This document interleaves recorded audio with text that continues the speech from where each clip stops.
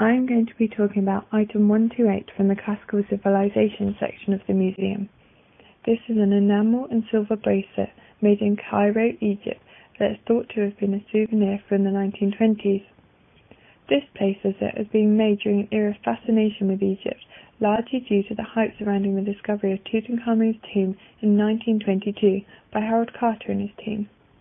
I will talk more about this context later, but first I will briefly outline why, out of all of the objects in the museum, I chose such a small and relatively recent object to research. I studied classics as part of my degree. The 15 panels that make up the bracelet link to my interest in ancient societies, depicting scenes that give an insight into ancient Egypt. This was a typical feature of jewelry at the time, with the Art Deco style that was emerging in the 1920s being heavily influenced by ancient Egyptian motifs. Several panels particularly stood out to me on the bracelet. For instance, the chariot rider under the huge bow is striking, as is the image of a royal servant offering food to a stately looking individual seated on a throne. Along with the other panels, including one depicting a body being prepared for the next life, these scenes depict multiple aspects of society, from warfare and fighting to contemporary social hierarchies, as well as ancient Egyptian beliefs surrounding death. This shows how the bracelet is an important expression of the obsession with all aspects of ancient Egypt in the 1920s. As previously mentioned, this can be credited to the unearthing of Tutankhamun's tomb on the 4th of November 1922. This was an incredibly important discovery as it dispelled thoughts that the Valley of the Kings was exhausted. The excitement surrounding the find was heightened by rumours of a curse. Incited by the rapid deaths of many team members involved in the dig, the curse myth was exacerbated by the death of the fifth Earl of Carnarvon, the financial backer of the venture. He died in strange circumstances shortly after attending the official opening of the tomb on the 5th of April when a mosquito bite became infected, leading to a blood poisoning. This was made all the more odd by the fact the fatal bite, which was on his cheek, matched a wound that Tutankhamun was found to have. The media grabbed hold of this myth, and coupled with the exoticism surrounding the distant land, Egypt became a fashionable place to visit. Tourists first started visiting Egypt in large numbers after Thomas Cook, founder of the travel company, had led an excursion there in 1869. As travel was beginning to become cheaper and more accessible, people began to flock to the country. However, the journey was still long and arduous. Travellers would have to go from London to Paris by plane, and then the remainder of the journey would have to be done either across land or by sea, taking around two weeks. It is therefore unsurprising that visitors bought souvenirs such as this bracelet to remember their epic trip by.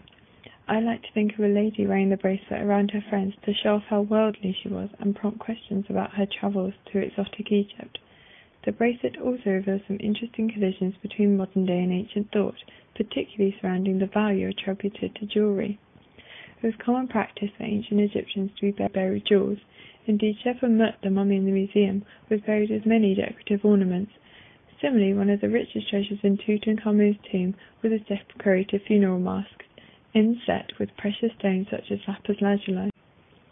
This shows that adornment and jewelry were valued, linking to the bracelet's use as a souvenir that would have held value to the owner, a treasured reminder of an exciting trip. The colors of the bracelet throw out some interesting parallels with ancient thought. The blue across the top of each panel reminds me of Egyptian blue, used widely in ancient jewelry, such as the necklaces found in the cabinet opposite this bracelet.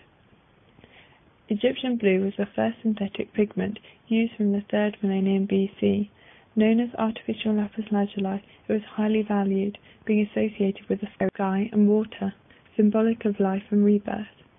Additionally, the gods' hair and faces were depicted as blue, and the color was particularly connected with the god Amun, who came to be worshipped as the almighty creator. Blue was also linked to the pharaohs, showing associations with royalty which still stand, for instance, we have the color royal blue. Therefore, the bracelet's colors represent how it harked back to a time different to its own, helping to preserve it. This can be seen to be what we're doing by putting the bracelet in a museum. You could question why an object that is so recent in the grand scheme of history has a place alongside more ancient pieces. This is similar to the tapestry in the World Cultures Gallery depicting life by the Nile, completed in 2009.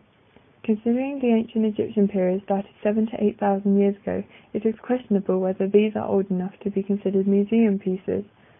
Similarly, compared to the rich and gem inset jewelry the ancient Egyptians were buried with, this bracelet would have cost relatively little. It reminds me of bracelets that are widely available in modern day tourist places, such as saint bracelets in Italy, which are similarly made of small panels. However, by placing it in a museum we give the bracelet high value, which I think is rightly deserved.